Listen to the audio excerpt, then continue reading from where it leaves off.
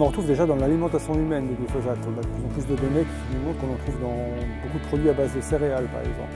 Et donc finalement, on en retrouve dans l'organisme humain, on retrouve dans les urines, ce qui est une manière pratique de, voir qu'on a été exposé. Et les études aux États-Unis montrent que je crois que c'est 93% de la population qu'on a dans les urines. En Europe, on a des chiffres à peu près similaires. Euh, les quantités peuvent varier selon les pays, selon euh, les régimes alimentaires, selon euh, le fait qu'on consomme bio ou pas. Les consommateurs bio ayant semble-t-il un peu moins de résidus de glyphosate dans les urines. Mais on s'aperçoit que c'est l'ensemble de la population européenne qui semble contaminée par des résidus de glyphosate à des niveaux différents parce que soit l'alimentation vous contamine, soit l'air ambiant également, soit l'utilisation par certains jardiniers quand c'est encore dans les pays où c'est encore permis va les, contaminer. Donc on est bien face à une exposition ubiquitaire complète ou quasi complète de, la population européenne également, ce qui en fait pour nous une question de santé publique majeure.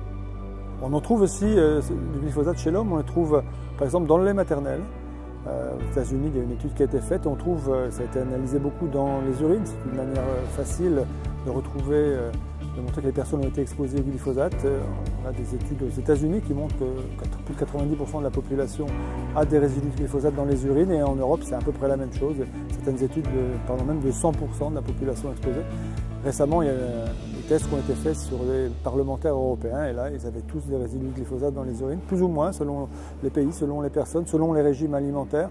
Mais il semble bien qu'on soit face à un cas d'exposition, de, contamination euh, ubiquitaire de la population et donc euh, potentiellement euh, face à un problème de santé publique puisqu'on a une substance qui est problématique et d'ailleurs classée probablement cancérogène pour l'homme par le Centre international de recherche sur le cancer.